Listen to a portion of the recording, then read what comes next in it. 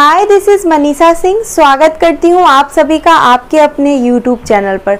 Friends आशा करती हूँ कि आप सभी बहुत अच्छे होंगे और एग्ज़ाम्स की प्रिपरेशंस भी आपकी बहुत अच्छे वे में चल रही होगी। तो आई हूँ लेकर आप सभी के लिए एक और ज़बरदस्त गवर्नमेंट जॉब की अपडेट जो कि डायरेक्ट निकल के आ रही है। आईपीआर यानी कि इंस्टीट्यूट ऑफ़ प्लाज्मा रिसर्च की तरफ़ से एमटीएस यानी कि मल्टीटास्किंग स्टाफ की भर्ती 2024 के रिगार्डिंग फ्रेंड्स देखिए आईपीआर जो होता है इंस्टीट्यूट ऑफ़ प्लाज्मा रिसर्च ये सेंट्रल गवर्नमेंट के अंतर्गत एक इंस्टीट्यूट संस्थान है, जिसमें आपको ग्रुप सी की पोस्ट निकली है एमटीएस के लिए, जिसके लिए ऑल इंडिया के मेल एंड फीमेल दोनों कैंडिडेट अप्लाई करेंगे। देखिए, यहाँ पर आप देख सकते हैं, वही सेम चीज़ जो मैंने बताया, वही यहाँ पर मैंने लिख दिया था कि institute of plasma research IPR multitasking staff की भर्ती आई है। जिसके लिए अप्लाई जो होगा ना ऑनलाइन होगा। और ऑलरेडी ये स्टार्ट हो चुका है ये ट्वेंटी नाइन्थ ऑफ़ जुलाई यानी कि 29 जुलाई से ना फॉर्म भी ऑनलाइन होना स्टार्ट हो चुका है और अंतिम तिथि यानी लास्ट डेट जो रहेगी ट्वेंटी सेवेंथ ऑफ़ अगस्त यानी 27 अगस्त तक ना इसका लास्ट डेट रहेगा। अब फॉर्म अप्लाई करते वक्त कुछ फ़ी भी लिया जाता है ऑनलाइन तो आइए उसके चार्जेस को बता दूँ। देखिए जनरल ओबीसी और ईडब्ल्यू से 200 यानी कि दो सौ रुपया लिया जाता है। वहीं पर अगर आप एस सी कैंडिडेट है या फिर आप फीमेल कैंडिडेट है तो आपसे कोई चार्जेस नहीं लिए जाएँगे। तो ये बहुत अच्छी बात है और देखिए जनरल ओबीसी और ईडब्ल्यू से भी ना ज़्यादा नहीं, बस दो सौ रुपया लिया जा रहा है। अब जानेंगे हम कि इसकी उम्र सीमा, यानी कि एज लिमिट क्या रहेगा।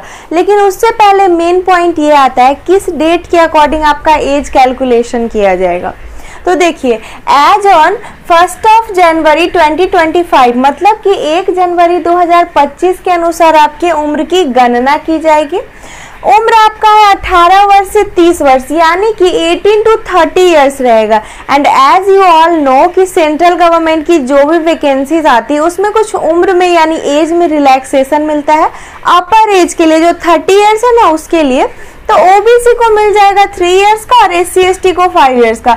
मतलब कि ओबीसी के लिए आपका मैक्सिमम एज है तैतीस वर्ष और एस सी के लिए पैंतीस, यानी थर्टी फाइव ईयर्स अब ये सारी तो बेसिक डिटेल्स ही तो मोस्ट इंपॉर्टेंट थिंग कि आपका एलिजिबिलिटी जो डिसाइड होता है ना क्वालिफिकेशन के अकॉर्डिंग होता है तो क्वालिफिकेशन क्या रिक्वायर्ड है?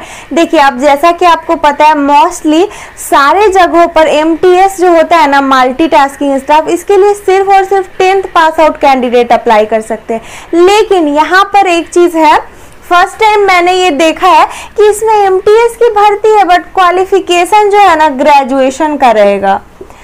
तो जो भी ग्रेजुएट कैंडिडेट्स है, चाहे वो आर्ट्स स्ट्रीम के हो साइंस के हो, या फिर अगर आपने कॉमर्स लिया है, बस आपने ग्रेजुएशन कर रखा है सर्टिफिकेट है तो आप अप्लाई कर सकते हो। यहाँ पर परसेंटेज का कोई इशू नहीं रहने वाला है। चलिए, आगे बता देती हूँ कि इस पोस्ट के रिगार्डिंग सिलेक्शन प्रोसेस क्या होगा।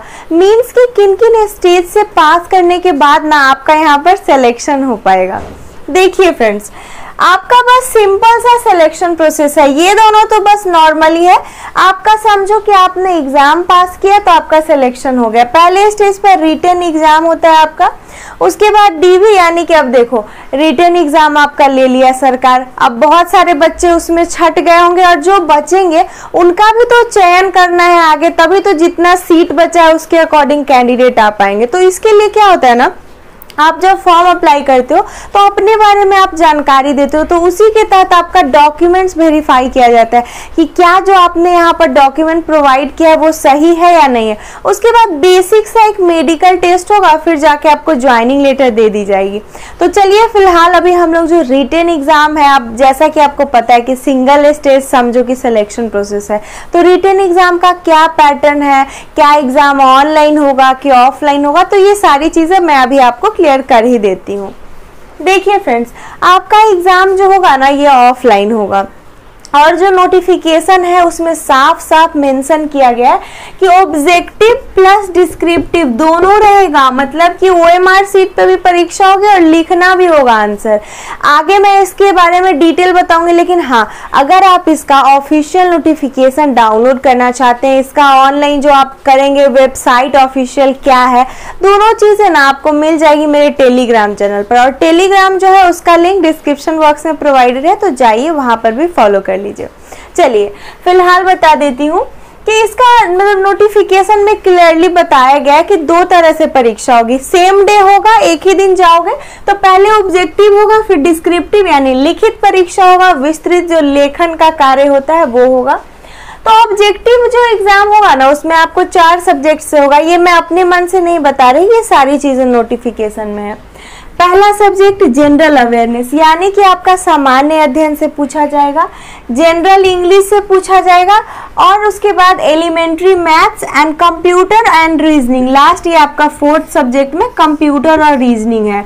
तो ये चारों विषय। जनरली जो आप एसएससी का तैयारी कर रहे होंगे रेलवे का तैयारी कर रहे होंगे रेलवे में तो इंग्लिश नहीं पूछता है। एसएससी वाले बच्चे जो तैयारी कर समझिए कि आपका एमटीएस का सेम ही सिलेबस रहेगा, ठीक है?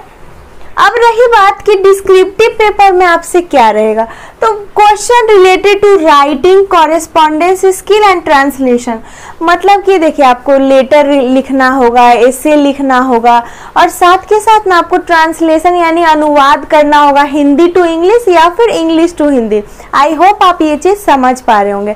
तो ये था आपका एग्ज़ाम पैटर्न तो एग्ज़ाम में क्वालिफाई करने के बाद क्या होगा? आपका डॉक्यूमेंट जाँच किया जाएगा, फिर बेसिक मेडिकल उसके बाद ज्वाइनिंग लेटर दे दिया जाएगा। जैसा कि आपको पता है कि ऑल इंडिया के कैंडिडेट इसके लिए फॉर्म भर सकते हैं तो उसके बाद मेन पॉइंट ये आता है कि आपका जो है जॉब लोकेशन क्या होगा? आगे मैं बताऊँगी, लेकिन उससे पहले जान लेते हैं कि सैलरी क्या मिलेगा ज्वाइनिंग के बाद।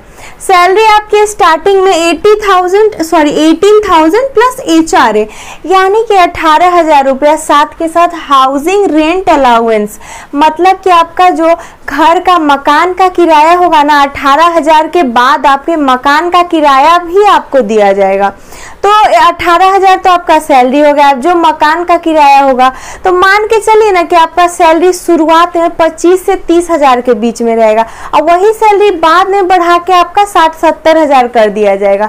इंस्टीट्यूट आपका सेंट्रल गवर्नमेंट के अंतर्गत आता है और ये आपका जो आई यानी इंस्टीट्यूट ऑफ़ प्लाज्मा रिसर्च ये सिचुएटेड है आपका असम में।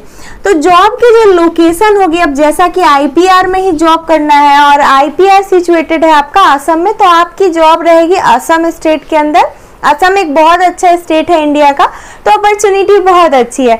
और हाँ टोटल पोस्ट भी आपको बता देती हूँ जाते जाते देखिए टोटल 27 पोस्ट है। अब आप बहुत सारे बच्चों का कंसर्न ये होता है कि बस 27 पोस्ट के लिए क्यों बता रहे देखिए मोस्टली कैंडिडेट होते हैं, उनको बस एक सीट से मतलब होता है। तो अगर आपको ये, इससे दिक्कत है कि सत्ताईस पोस्ट है तो आप फॉर्म अप्लाई मत करना। बहुत सारे नीडी स्टूडेंट्स होंगे, वो इसके लिए अप्लाई करेंगे। तो उनके लिए मैंने सारी जानकारी दे दी है। आई होप कि अब आपका सारा डाउट्स एंड कंसर्न क्लियर हो गए होंगे।